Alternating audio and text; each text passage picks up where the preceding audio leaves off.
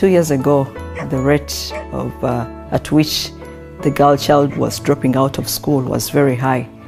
So we took time to, to assess and do a survey and do some bit of meetings to find out the cause.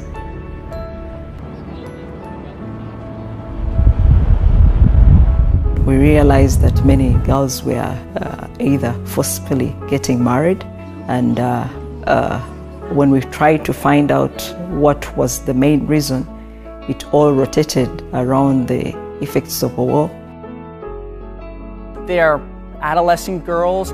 This culture that they're surrounded by uh, tends to draw them into premarital relations, um, tends to draw them into uh, uh, marriages in which they, um, they don't necessarily want to go into, but they're forced into. And the purpose of that club is to disciple them in, um, in ways for them to grow up healthy, for them to feel valued. Girls don't get this opportunity back home. It's, what's, it's what the Lord has called us to do in this place, uh, to minister to a life. I, I, I think uh, sharing the love that Christ has given us with others is the most important thing.